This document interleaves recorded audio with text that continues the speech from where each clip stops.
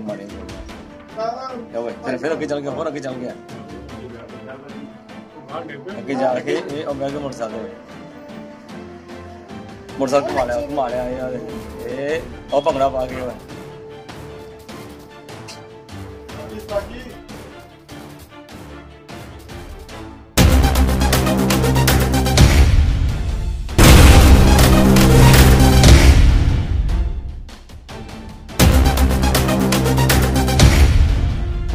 ਗੋਲੀਆਂ ਮਾਰ ਕੇ ਕਤਲ, ਫੇਰ ਭੰਗੜਾ।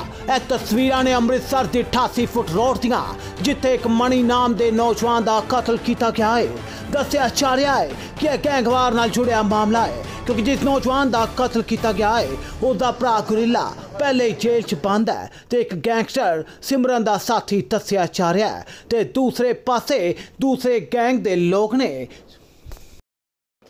ਦੱਸਿਆ ਜਾ ਰਿਹਾ ਹੈ ਕਿ ਸਿਮਰਨ ਤੇ ਸ਼ੁਭਮ ਨਾਮ ਦੇ ਗੈਂਗਸਟਰਾਂ ਦਾ ਆਪਸ ਵਿੱਚ ਪੰਗਾ ਹੈ ਤੇ ਇਹ ਸਿਮਰਨ ਦਾ ਸਾਥੀ ਸੀ। ਇਸੇ ਕਰਕੇ ਇਸ ਦਾ ਕਤਲ ਕੀਤਾ ਗਿਆ ਹੈ। ਕਤਲ ਕਰਨ ਵਾਲਿਆਂ ਨੇ ਇਸ ਨੂੰ ਗੋਲੀਆਂ ਮਾਰੀਆਂ। ਇੱਕ ਤੋਂ ਬਾਅਦ ਇੱਕ ਸੱਤ ਗੋਲੀਆਂ ਮਾਰੀਆਂ ਗਈਆਂ ਤੇ ਕਤਲ ਕਰਨ ਤੋਂ ਬਾਅਦ ਮੋਟਰਸਾਈਕਲ ਤੇ ਭੰਗੜਾ ਪਾ ਕੇ ਨੌਜਵਾਨ ਫਰਾਰ ਹੋ ਗਏ।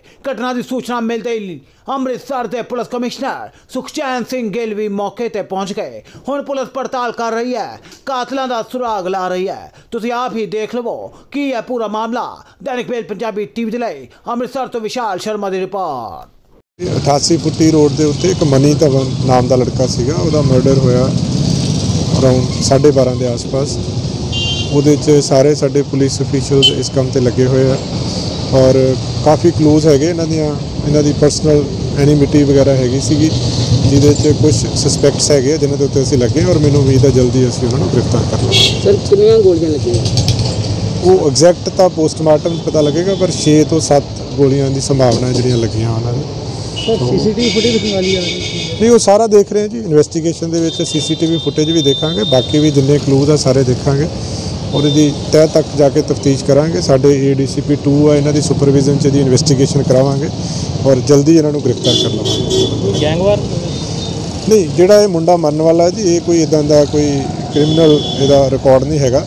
ਬਟ ਜਿਸ ਤਰ੍ਹਾਂ ਮੈਂ ਦੱਸਿਆ ਇਹਦੇ 'ਚ ਪਰਸਨਲ ਐਨੀਮਿਟੀ ਵਾਲਾ ਐਂਗਲ ਲੱਗਦਾ ਹੈ ਗੈਂਗ ਵਾਰ ਨਹੀਂ ਆਪਾਂ ਗੈਂਗ ਵਾਰ ਤਾਂ ਹੁੰਦਾ ਜਿੱਥੇ ਦੋ ਗਰੁੱਪ ਆਪਸ ਦੇ ਵਿੱਚ ਲੜਨ ਸੋ ਇਹ ਤਾਂ ਇਹ ਤਾਂ ਬਲੇਟੈਂਟ ਜਿਹੜਾ ਮਰਡਰ ਆ ਜਿਹੜਾ ਕਿ ਪਰਸਨਲ ਐਨੀਮਿਟੀ ਦੀ ਐਵਜ ਦੇ ਵਿੱਚ ਕੀਤਾ ਗਿਆ ਵਾ ਔਰ ਜਿਨ੍ਹਾਂ ਨੇ ਕੀਤਾ ਵਾ ਜਾਂ ਕਰਾਇਆ ਵਾ ਉਹ ਵੀ ਸਾਡੀ ਨੌਲੇਜ ਦੇ ਵਿੱਚ ਹੈਗਾ ਉਹ ਸਾਰਾ ਅਸੀਂ ਕਰ ਰਹੇ ਹਾਂ ਉਹ ਲੱਗ ਰਿਹਾ ਜੀ ਜੋ ਮੁੱਢਲੇ ਤੌਰ ਤੇ ਇਹੀ ਲੱਗ ਰਿਹਾ ਵਾ ਮ੍ਰਿਤਕ ਦਾ ਬੰਦਾ ਸ਼ਾਇਦ ਜੇਲ੍ਹ 'ਚ ਵੀ ਭਰਾ ਦਾ ਜੇਲ੍ਹ ਉਹ ਸਾਰਾ ਹੈਗਾ ਜੀ ਉਹ ਸਾਰੇ ਕਲੂਜ਼ ਹੈਗੇ ਬਹੁਤ ਸਾਰੇ ਇਹਦੇ ਚ ਕਲੂਜ਼ ਆ ਜਿਹੜੇ ਕਿ ਸਸਪੈਕਟਸ ਵੀ ਸਾਨੂੰ ਕਾਫੀ ਆਈਡੀਆ ਹੈਗਾ ਉਹ ਜਲਦੀ ਕਰ ਲਵਾਂਗੇ ਇਹਨਾਂ ਨੂੰ case। ਠੀਕ ਥੈਂਕ